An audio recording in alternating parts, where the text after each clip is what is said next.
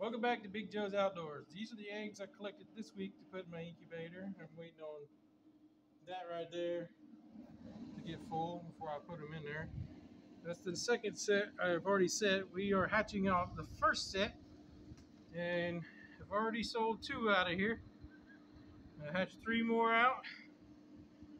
Uh, I'm pretty sure I'm not going to get 100% hatch rate, but it's looking good because that one, I don't know. I had one here yesterday when I went to work drying out, and this morning or just afternoon when I get home, there's two more.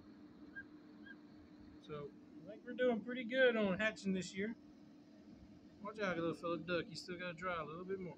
Duck, duck, duck. There you go.